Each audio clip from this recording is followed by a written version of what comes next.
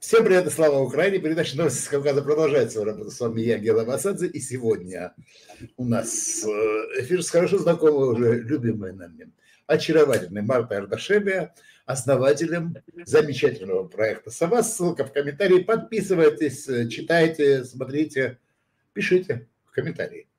Ну, еще пишите комментарии здесь, а также ставьте лайки и тоже подписывайтесь. Вот. Все сказал. Все сказал. Вот. А... Привет, Гела. Привет, Привет э, зрителям. Привет. Слушай, ну что-то мы с тобой какие-то слишком веселые. Слишком веселые. Есть повод для веселья у нас? Гела. Да, да, нормально все хорошо, ничего страшного. Да, если он покажется, вообще будет круто. Это она? Это, тем более, если она покажется, то это вообще замечательно. Подожди. Так, расскажи мне э, минутку. Наверное, надо будет перезаписать. Подожди сейчас. Потому что это печенье, на этом печенье у меня держался телефон, с которого Хорошо. я включаюсь. Это тоже нормально. Хорошо, все. Э, повтори, пожалуйста, вопрос. Зрители, зрители предполагают, что у нас в доме нет студий. Они вот так предполагают, что дома у нас нет студии. Приходят они к нам домой. Слушай, вопрос очень простой. Вопрос в том, что мы с тобой слишком веселые, что у нас есть повод. Мне кажется, это истерика просто. Защита организма на стресс. Такая улыбка на все лицо. У меня обычно, когда все плохо. Я еще пою, кстати. Я помню, во время командировки войны 2008 года я всю дорогу в горе пела. Я ужасно пою, я пела, и просто вся команда съемочная говорит, Марта, хватит уже, ты достала. Война, так еще и ты поешь. Не, на самом деле, ты молодец. Мы все помним твои репортажи с той войны. Ребята, это, это отдельная история, про которую, которую мы потом у Марты попросим Марту рассказать отдельно. А пока, ну что тебе сказать? Ну, нам обещали, что запретят оппозицию. Да, э, вообще, нам обещали, но вообще обещали все запретить, кроме меч, мечты. Ну все, все, нет, нас пока не обещали запретить, хотя как бы мы понимаем, что это само собой подразумевается.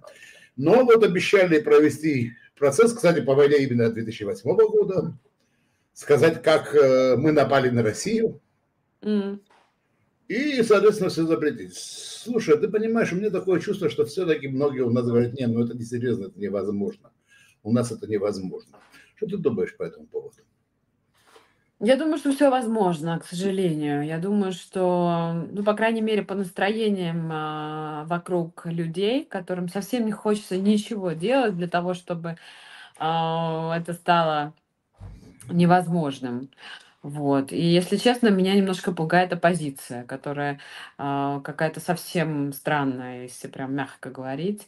Я не очень понимаю, а, к чему они идут, какие, они, какие у них шаги для того, чтобы к чему-то идти, и какую-то предлагают параллельную реальность. Вот э, даже своим сторонникам, которые готовы во все верить и быть счастливыми, но как-то не, не, не очень получается, если честно. Меня, меня очень пугает это. Вот я как-то не, не понимаю, насколько долго мы продержимся на эмоционально возвышенно инфантильном а, таком состоянии.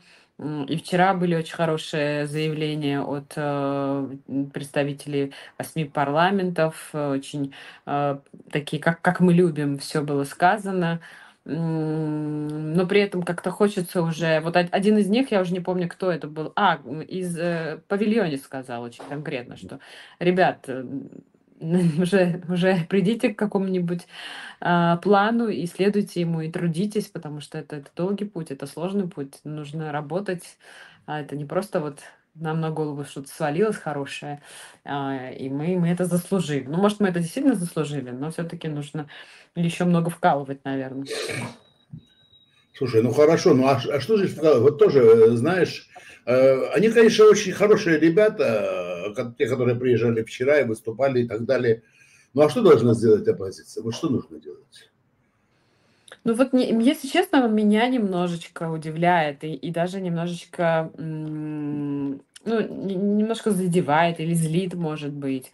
А, вот я не, не очень понимаю, как, эм, как можно было так э, оказаться не готовыми к этому исходу.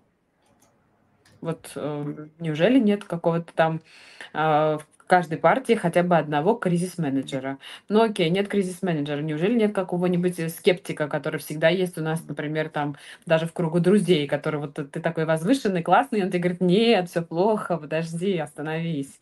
Вот неужели хотя бы такого человека не было в окружении, который бы что- что-то такое бы сказал, и э, все вокруг решили, да, вот он, то, что он говорит, возможно, это правда. Давайте придумаем какой-нибудь план «Б» ну, не знаю, или план А, А, А, А, Б, как там, подпункты какие-то. Ну, то есть мне кажется, что а, вот этот эм, подход э, к политике, который ну, мы очень, мы очень, мы очень эмоциональны, это правда, да. Мы очень любим красиво говорить на акциях, мы очень любим, э, когда наши лидеры э, красиво выступают, что-то такое говорят, что мы немножечко даже всплакнем.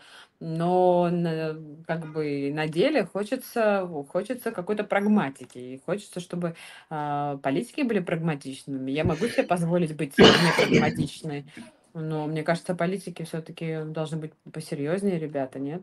Может, я сейчас просто, э, не знаю, какая-то занудная девочка. Не-не-не-не, я, я понимаю, потому что самого посещают те же самые мысли. А потом, а потом я начинаю у себя спрашивать другое. Вот из точки А в точку Б, э, если мы движемся, то нужно понять, какая это точка Б. Точка А – это наше типичное состояние.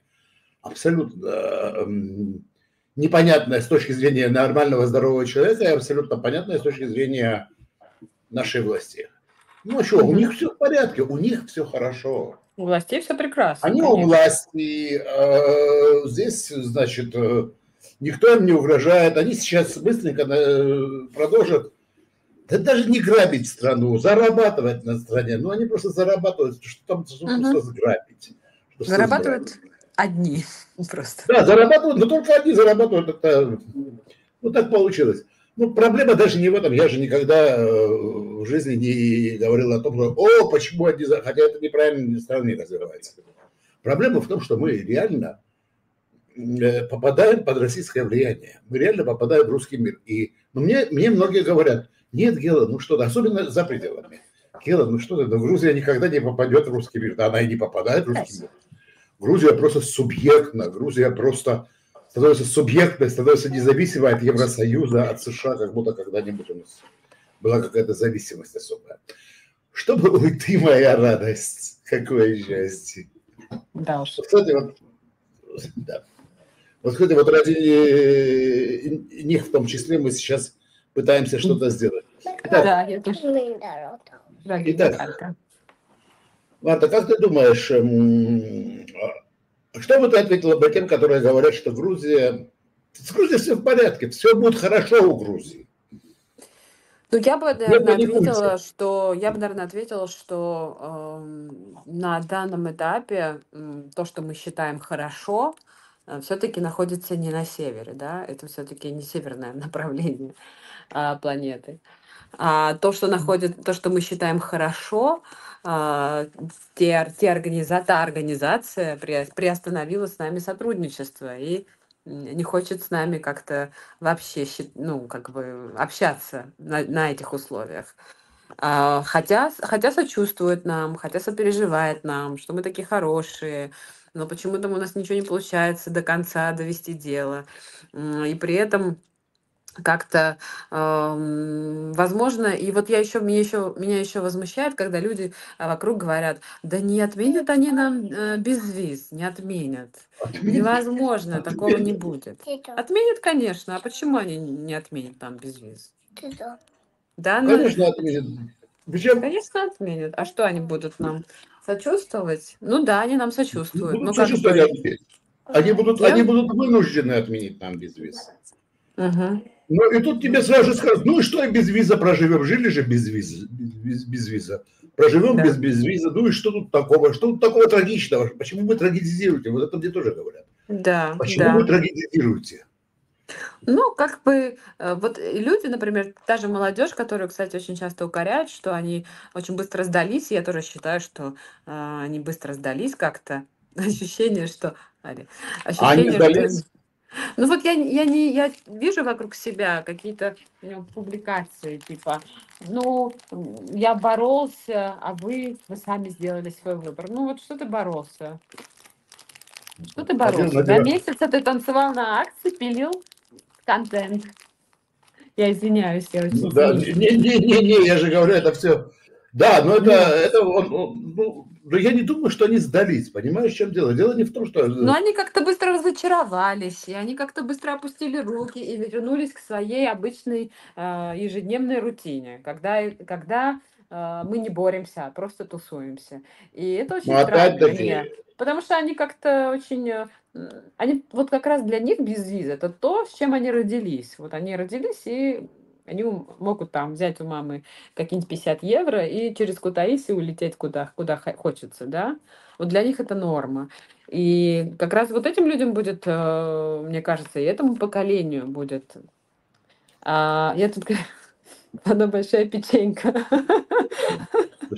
Этому, э, э, да, этому поколению я с тобой согласен. Им будет сложнее всех. Но Тогда, может быть, правы те, которые говорят, что не, э, может быть, правы те, которые говорят, что нужен лидер, и то, что нет лидера, это большая проблема.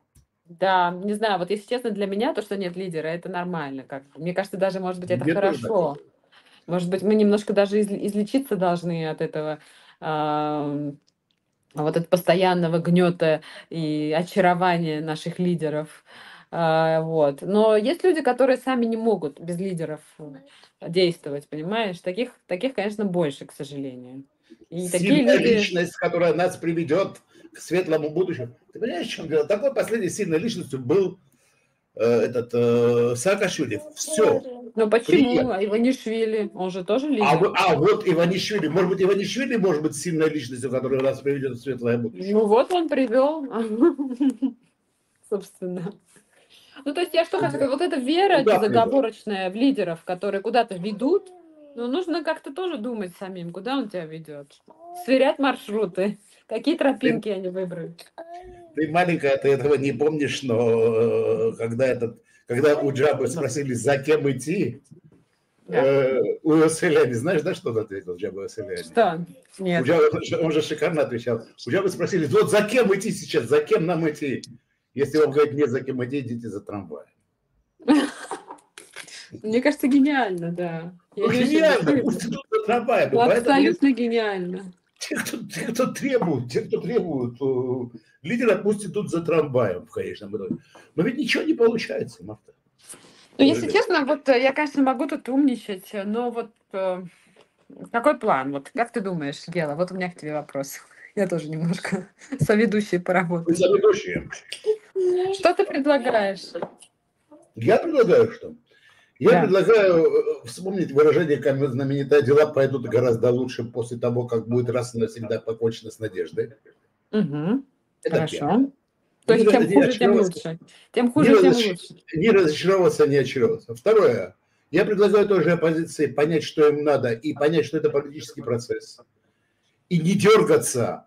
Выйдем на улицу, выйдем на улицу. Нужно, было, нужно выходить на улицу в критические моменты, в критические точки.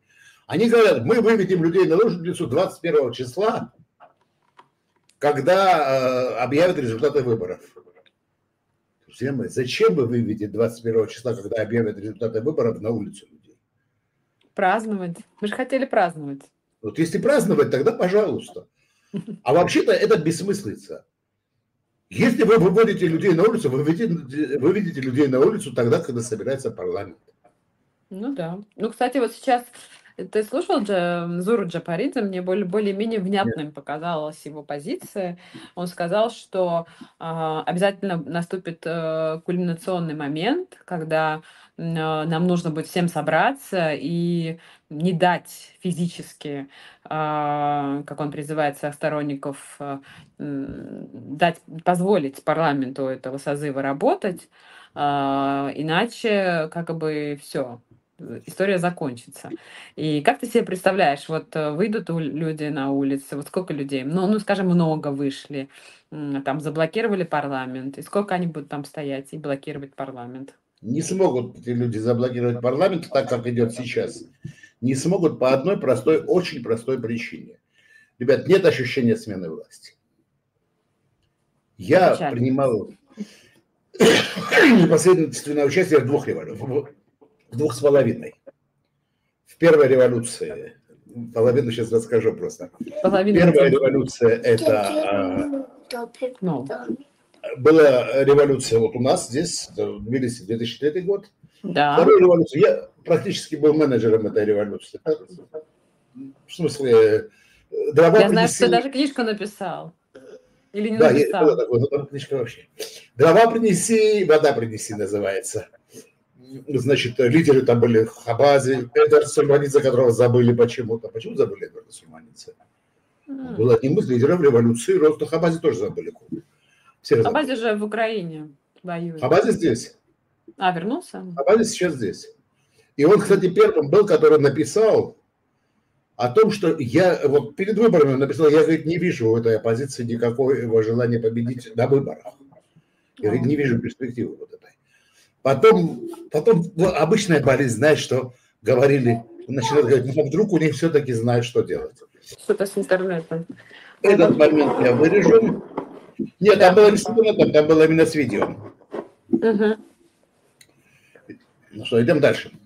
Да. А дальше, а дальше идем таким образом. А дальше уже оппозиция должна понять, чего она хочет. Ребят, это политический процесс. Если вы не заходите в парламент, создавайте параллельную структуру. Ну, они кстати, э, Гела, ты слышал вот это заявление? Они говорили, что сегодня мы э, какое-то там сделали совещание как новоизбранное правительство. То есть э, какую-то параллельную реальность все-таки они предлагают. Прекрасно. Вот, наконец, вот это нормальный реальный шаг. Пускай соберутся эти депутаты, пускай сделают правительство, теневой кабинет или как угодно его назовите. Вы же победили. Пускай этот кабинет разговаривает с э, за границей.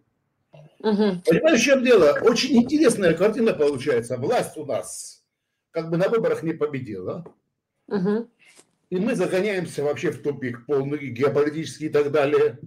Потом, знаешь, нам что скажут? Это Запад виноват, что сюда Россия пришла, потому что он не признал мечту. Вот если бы он бы признал бы мечту, тогда бы России бы здесь не было. Нам это скажут стопроцентно. Ну да, да. А Но... когда я же предупреждал, что так будет, скажут, нет, я ну, ты же а не сказал, что нужно признать. Я не скажу, что нужно признать. Это фигня все. И мы исходим из чего? Мы исходим из того, что ну, в конечном итоге, ребят, нужно быть серьезнее. А люди почему не выходят? Почему мало народа выходит? Тут реально сейчас в последнее время выходит мало народа. Почему? Потому, Потому что ну, ну пришли и ушли, и что дальше? Да, ничего, ничего конкретного, ничего конкретного. Но вот я думаю, что следующий год все-таки и подготовка к муниципальным выборам а, могли бы быть интересным моментом для всех, и для сторонников оппозиции, и для самой оппозиции, потому что понятно, что большие города, они выиграли даже в таких условиях, но вот работать а, на регионы как раз прекрасная они возможность. Они проиграют все выборы, если они сегодня проиграют, они проиграют все выборы, выборы будут не будут до тех пор, пока не закончится Москва. Пока Россия будет существовать, нас выборов уже потом не будет. Все. Чудо нас может только спасти. Дело. Прекрати. Это очевидность мы становимся за Кавказьем. Вот этого почему-то э, их же всех потом, э, еще раз говорю, ну возьмут за оппозицию, что будут делать? Давай так, вот у тебя достаточно влиятельное, серьезное издание, которое читают иностранцы. Сколько лидеров оппозиции с тобой консультировались? Оппозиция вообще с кем-нибудь консультировалась? Сколько сказали, э, что можно сделать и чем э, какой-то... Тебя как информационный ресурс привлекают к какому-то плану, к чему-то? Нет, ну мы так не сотрудничаем, конечно, мы все-таки... А извини меня, вот так они ни с кем не сотрудничают. Они ну, только мы... сотрудничают со своими двумя телевидениями. Дело, прости. Ничего страшного. В общем, ну вот да, так. да, я вижу это. Я вижу, что люди все-таки немножко в своем бабле. И это, это Они в своем бабле, раздражает, раздражает э, и других, э, более, ну, скажем так, других людей, которых бы могли бы э, перетянуть не знаю, на, на свою сторону. Могли бы перетянуть. Даже на своей стороне эти люди, понимаешь? Просто единственное, что могли бы использовать в позитивном смысле этого слова. Никто же от них денег от этого или должностей. Ты хочешь должность в новом правительстве? Нет, конечно, Господи. Боже упаси. Но вот этого всего нет. Этого всего нет, и, к сожалению, к сожалению, не будет. Мечта готова, чтобы парламент был однопартийным, как ты думаешь? Мечта с радостью готова с радостью. А зачем им какие-то люди? Нет, но если у них будут какие-то люди, если у них будет какая-то имитация, имитация того, что это самое, то, наверное, им, им было бы интересно. Это два. Ну и э, последний, ты по Абхазии что-нибудь слышала? Что Слушай, ну, восхищают меня мои братья абхазы, честное слово. Если бы, если бы там не было российского фактора, у них было бы все прекрасно. Но очень печально наблюдать за тем, что все эти усилия абсолютно бессмысленные, потому что они сейчас там борются друг с другом, победит какая-то сторона, которая через три месяца опять станет абсолютно пророссийской и будет проводить, как в Жане начинал, ты же помнишь? Они выбирали его как альтернативу прокремлевскому ставленнику Хаджимба, а потом через четыре года он стал точно таким же, как Хаджимба. А, а им некуда деваться. Ну, вот. Им некуда деваться. И это знаешь, о чем думаю? Я думаю, что самое печальное это то, что у нас может быть такое же положение. Потому что эти да. власти некуда деваться. Они, не, а, они не захотят уходить. Вот и все. Это правда. Это правда. Да, но мне кажется, что мы немножечко похожи в этом смысле. А, Стали похожи. Да. Особенно вот эти процессы с этими законами, которые копируют российские, которые они не хотят принимать, которые продавливаются все-таки Кремлем. И, конечно, в таких маленьких, скажем так, обществах, где на одного человека четыре э, российских э, военных, грубо говоря, это вызывает, конечно, большое восхищение, что они все-таки а, держатся и все-таки а, пытаются отстоять а, ну, свои цели. А у, них нет, а у них, наверное, нет другого выхода, потому что им действительно, вот у них стоит вопрос о физическом выживании, как народа, как этноса. Да, да. Мы, кстати, вот готовим материал на Сове а, по поводу того, как а, такой демографический, даже не кризис, а катастрофа настигла а, Южную Осетию. И мне кажется, что, возможно, с Абхазией немножко другая ситуация, но с точки зрения языковой э, экспансии, конечно, там тоже полная катастрофа и очень печально, что, может быть, с их точки зрения все было зря. Ты понимаешь, в чем дело? С точки зрения сохранения абхазов как народа, конечно, было зря. Конечно, было зря. Мы бы не, даже если вы, вот, допустим, плохие грузины фашисты, как они пишут, фашисты и так далее, да, грузины да. фашисты. Но вот если бы вы были бы супер фашистами, мы бы не смогли бы их так ассимилировать. Так нет, конечно. Нет, конечно, нет. Ну, не, не, смогли, не, не смогли бы физически. А сейчас знаешь, что вот с так называемой Южной Осетией ситуация какая? У них там по численности меньше, да? И поэтому кажется. Но осетины – это достаточно большой народ. Да. У них есть Осетия, Северная Осетия, Алания – это и есть Осетия. И осетины останутся, они выживут, они народ со своей историей большой и так далее. И с осетинами ничего не случится. А абхазов размоют. И это очень жаль. Очень жаль. Мне правда очень жаль. Мне тоже. Гела, Реально. прости, прости, но ребенок хочет гулять. Все, хорошо, родная. Хорошо. Большое спасибо, Марта, за очень интересную беседу. Я просто... Э, не, правда, правда интересная и нестандартная абсолютно. Да. Вот как в условиях приходится работать э, мамам. Да, да, это, это точно. Но ребенок, я думаю, что когда ребенок вырастет, он э, посмотрит это это видео и подумает, о чем они говорили. Все же будет хорошо обязательно. Почему я там сижу, да, почему я... Нет, а все, же, все же все равно хорошо. Так что спасибо тебе, спасибо, что за э, эту беседу. И большое спасибо, дорогие друзья, что были сегодня с нами. Всего доброго и до новых встреч. Помаши. Счастливо. Пока.